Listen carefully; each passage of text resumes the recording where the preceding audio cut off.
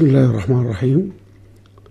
عزيزي الدارس وعزيزي المشاهد مرحبا بكم مرة أخرى في تلفزيون جامعة السودان المفتوحة.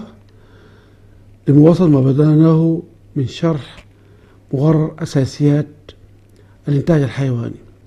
كنا في المرة السابقة تكلمنا في الوحدة الأولى عن الأنماط المتبعة في تربية أو رعاية الحيوان في السودان بصفة عامة. ومعوقات والمشاكل التي من هذه الأنماط اليوم في الوحدة الثانية حنتكلم عن تربية الحيوان. يعرف التربية, التربية بصفة عامة بأنه فرع من علوم الإنتاج الحيواني المختصة بدراسة وتحسين قدرات الحيوان من النواحي الإنتاجية بصفة عامة ومن الناحية الوراثية بصفة خاصة وذلك تحت ظروف وعوامل بيئية واقتصادية محددة ملائمة لاستغلال الأمثل لقدرات الحيوان. تربية الحيوان بتعتمد على عاملين أساسيين عملية الانتخاب وعملية التربية أو التزاوج في الوقت الحاضر هنتكلم عن الانتخاب. ما هو الانتخاب؟ يعرف الانتخاب بأنه هو تفضيل بعض أفراد العشيرة أو القطيع ليكونوا آباء الجيل القادم بناء على قدراتهم الوراثية والسلوكية. يعني اختيار الأحسن من بين هؤلاء الأفراد ليكون آباء عشان يدون أجيال قادمة بنص الثيابات الوراثية الممتازة في القطيع الأم. طيب أنواع الانتخاب في نوعين من الانتخاب. الانتخاب الطبيعي والانتخاب الممارس. ما هو الانتخاب الطبيعي؟ هو الذي تمارسه الطبيعة أو يمارس في الطبيعة بصفة عشوائية يعني بدون أي تخطيط له. وده عادة بيكون ممارس في حيوانات القابة بصفة عامة أو الحيوانات التي تكون على الطبيعة موجودة. في هذا النوع بيكون فيه الحيوانات القوية معافاة من ناحية مرض أو من ناحية أي هي التي تستطيع أن تواكب هذه الطبيعة وتقاوم آه عواملها عشان تعيش. ونضرب مثال لذلك هو مثلا في حيوانات الوحشية اللي هي فيها الحيوانات المفترسة والحيوانات المفترسة. أحسن مثل لذلك قطيع من الصيد أو حمير الوحش. عايشة بيقتنصها الأسد وبيهاجمها. فتركض هذه الحيوانات. أي حيوان سريع هو يستطيع أن يتغلب على الأسد وينجو من افتراسه. أي حيوان ضعيف لعاهات أو مرض هو حيكون فريسة سهلة لهذا الحيوان. المفتري ينقرض هذا الحيوان ويواصل الحيوان القوي مسيرة العطاء بالنسبة لقطيعه ويبدأ جيل جديد. يعني بمعنى أن بمعنى آخر هو البقاء للأصلح أو البقاء للأقوى. وبالتالي الحيوانات القوية هي التي تستطيع أن تواصل العطاء وتكون آباء لأجيال قادمة وبالتالي تكون قطيع جديد معافى والحيوانات الضعيفة لو كانت ضعيفة العمر أو ضعيفة من المرض أو ضعيفة لإعاها هي اللي بيحصل لها إقصاء من القطيع وتنقرض.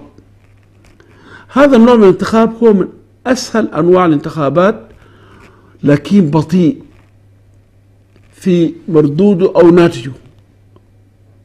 فبالتالي هو منتخب سارت عليه الحيوانات من الخليقة وانقرضت بهذا النوع من الانتخاب انقرضت حيوانات كثيرة لم تستطيع أن تقاوم. يا البيئة أو الطقس يعني الديناصورات انتهت لأنها كانت بتعتمد على البيئة. وطالما تغيرت البيئة تغير السلوك الانتخابي وتغير السلوك الوراثي وتغير السلوك الغذائي وبالتالي انقرضت. نجي للانتخاب الثاني. هو الانتخاب الممارس. هذا النوع هو الذي يمارسه الإنسان باختياره لبعض الأفراد من القطاع القطيع ومن خلال ملاحظته لسلوكيات هذه الحيوانات من الناحية الإنتاجية أو من الناحية الغذائية أو من ناحية مقاومة الأمراض. يختار هذه الحيوانات بالفطرة بدأ بالفطرة ويختار الحيوان الإنسان عندما استأنس بعض الحيوانات بالذات الأبقار أو الحيوانات الأليفة يختار الاستفادة منها في من إنتاجها لو كان إنتاج لحوم أو كان إنتاج ألبان أو كده. في خلال تعامله مع هذه الحيوانات وجد أن بعض الحيوانات عندما تأكل أو يعتنى بها يكون عندها نمط معين من الإنتاج يا زيادة في اللبن أو زيادة في اللحم أو زيادة في الوبر. بفطرته قسم الحيوانات دي على حسب سلوكياتها وبدأ يتعامل معها وبالتالي هذه الحيوانات على حسب التقسيم بتاعها بدأت تدي أفراد من خلال التزاوج عندهم نفس النمط الإنتاجي أو السلوك الإنتاجي وكونت بعد ذاك مجموعات فيما بعد تعرف بالسلالات الانتخاب هو العامل الأساسي المؤثر في عملية التربية. ليه؟ لأنه يلعب الدور الأساسي في خلق أنماط جديدة وليس حيوانات جديدة. لما يعني نقول أنماط جديدة يعني مثلا الأبقار. ما حيجيب لنا حاجة غير الأبقار. من حيوان لا يشبه البقر ولا يشبه حيوانات أخرى. لا بيجيب لنا حيوانات هي أبقار جديدة في نمطها السلوكي. زي ما قلت آه، في شكلها العام أبقار لكن تدينا إنتاج اللحم. في شكلها العام أبقار لكن تدينا إنتاج اللبن. وكذلك في الحيوانات الأخرى الضان ضان معين في إنتاج الصوف أو إنتاج اللحم بتكوينات معينة كيف بيحصل هذا؟ دور الانتخاب في العملية الانتخابية دي أنه بعيد التشكيل الوراثية. وعيد رص الجينات الوراثية يعيد رصها بنمط جديد عشان يدينا يعني ما بجيب ما بجيب له آه، جينات من خارج هذه الجينات لا بعيد تشكيل الوراثية دي وهي تكوينها في سلسلة معينة يعني تدينا النمط السلوكي المعين. هذا هو الدور الأساسي في عملية الدور الذي يلعبه الانتخاب. هناك طرق مختلفة للانتخاب. إحنا عرفنا قلنا هو انتخاب هو اختيار الآباء الأمثل ذو التركيب الوراثية الجيدة عشان يكونوا آباء الجيل القادم. كيف يركب؟ في ذي ثلاثة طرق للانتخاب. الانتخاب المتسلسل والانتخاب عن طريقة الاستبعاد بالمستويات المستقلة وطريقة الانتخاب أو دليل الانتخاب. في independent culling method و tandem method و index method ده بالإنجليزي. نمسك الأول. الانتخاب المتسلسل هو يتم فيه الانتخاب لصفة واحدة. المربي أو آه عالم الوراثة أو المربي يختار الحيوانات لصفة معينة واحدة مثلا إنتاج اللبن أو إنتاج الصوف أو إنتاج اللحم بصفة عامة. يمسك المربي هذه الصفة لحد ما يوصلها للمستوى المطلوب اقتصاديا ثم يتحول للصفة الثانية في نفس المجموعة. وده مهم جدا.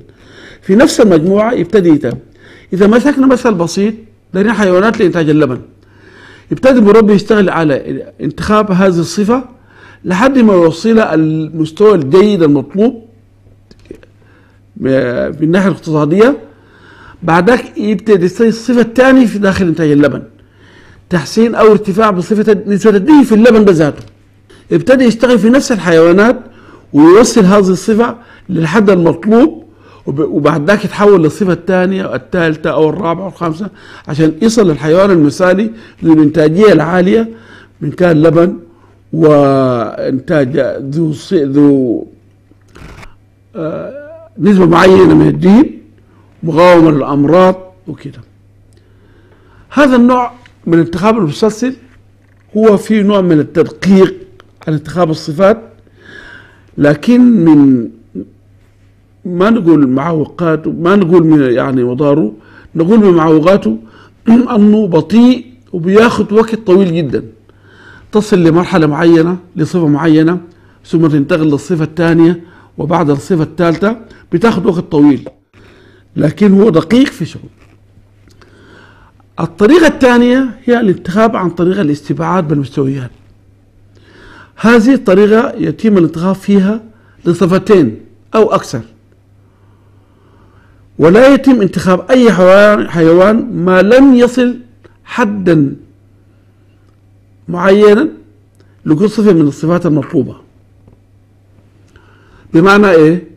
يكون دار ينتخب صفتين. مثلا نمسك انتخاب لصفة اللبن.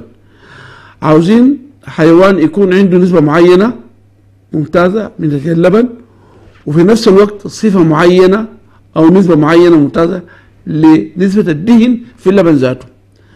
فقوم أخذت لي حد أدنى أقول أنه دار حيوانات بتدي على الأقل بتديني إنتاجية معينة من اللبن دي وفي نفس الوقت بتديني إنتاجية معينة من وفي المجموعة اللي بنتخب منها أنا أشوف الحيوانات اللي فيها الصفات دي الصفات الصفتين ديل انتخبهم انتخبهم هم وابعد باقي كل الحيوانات الأخرى من القطيع. وبالتالي يكون عندي حيوانات منتخبة بصفتين أساسيات. الطريقة دي هي طريقة طبعا أسرع لكن من عيوبه أنه في كثير من الأحيان قد تضحي بصفة لأبغار عندها إنتاجية عالية من اللبن لكن دي في أقل. فبالتالي إنت تستبعدها نحن ما قلنا عندنا حد أدنى. ده ليه حيوان بيديني نسبة الدهن فيه مثلا انتاجية اللبن فيه 30 ونسبة الدهن فيه مثلا 3 أو 4 في المجموعة دي يكون في حيوانات نسبة الدهن انتاجية اللبن فيها 40 مثلا رطول في اليوم لكن نسبة الدهن فيها أقل. المربي استبعد هذه الحيوانات اللي بتدي 40 رطل من اللبن من أجل أن تلقى لها حيوانات بتدي إنتاجية بتاعت ثلاثة أو أربعة نسبة فيها فبالتالي ضحى بحيوانات ذات إنتاجية عالية بسبب أنه داير حد معين من الدهن وبالتالي. ده العيب الأساسي لكن تعتبر أحسن من الأولى لأنه بتتخذ عن طريق صفتين أو أكثر لكن بتضحي بنسبة الحيوانات. الطريقة الثالثة هي دليل الانتخاب. في هذه الطريقة يتم الانتخاب أو انتخاب حيوانات لأكثر من صفتين لثلاثة أو أربعة. صفات وراثية. وهذه الطريقة تعتبر هي الطريقة الأحسن والطريقة الأكفى والطريقة الأسرع. ليه؟ لأن الإنسان أو المربي يعني يختار بين الانتخاب اللي هو يسميه سelection ديكس بيختار لأكثر من صفة معينة فبالتالي بيكسب وقت لإنتاج أسرع ولإنتخاب أسرع. المربي في الحالة دي بتاعت الانتخاب بيختار كم صفة على حسب القيمة الاقتصادية بتاعتها. يعني إنتاج لبن ذات نسبة دهن ذات مقاومة أمراض ذات كفاءة غذائية عالية بكل صفة من الصفات دي بديها دليل انتخابي أو بديها وزن انتخابي معين. يبنى هذا الوزن على القيمة الاقتصادية بتاعتها. ودي بتتم بطريقة إحصائية معقدة حقيقة. فبالتالي بيشوف أهم صفة هو عاوزها بديها الوزن الأكبر. وعلى وعلى وعلى هذا الوزن بيشوف مدى ارتباط الصفات الأخرى مع هذا الوزن. وبيديه correlation بيطلع منه selection index اللي هو آه دليل انتخابي معين وابتدي بيضرب عليه المجموع الناتج من هذه العملية الإحصائية بيكون القيمة الاقتصادية للحيوانات دي وبالتالي يخوض حيواناته على حسب الحيوانات ذات القيمة الاقتصادية الأعلى هي التي تنتخب. فبالتالي هذا بيعتبر هو من أحسن وجايز هو يعني في الوقت الحالي هو الطريقة اللي ممكن تتبعها في انتخاب الحيوانات بالذات السلالات العالمية. تم انتخابها بالطريقة دي يقول لك هذه السلالة مشهور بإنتاجية عالية من اللبن مشهور بإنتاجية عالية من الدهن مشهور بمقاومة للأمراض فيها قوة بتاع انتخاب عالية وتدينا آه سلالات هي أقرب للسلالات النموذج بالنسبة في عالم وميدان التربية وكده. دي طرق الانتخاب. داخل هذه الطرق المربي بيمارس أنواع من الانتخاب. وطريقة الانتخاب قلنا بتتبني على الصفة المنتخبة. طيب الفرق بينه وبين أنواع الانتخاب شنو؟ إذا كان هناك طريقة الانتخاب تتبني على نركز على الصفة هنا في بالنسبة لأنواع الانتخاب بنركز على القيمة الوراثية للصفة المنتخبة ذاتها فبالتالي عندنا عدة أنواع من أنواع الانتخاب. عندنا الأول الانتخاب الفردي اللي هو يمارس داخل طرق الانتخاب. أنا عاوز الدارس يركز معايا على الحكاية دي. أنواع الانتخاب أنواع هي تمارس داخل الطرق.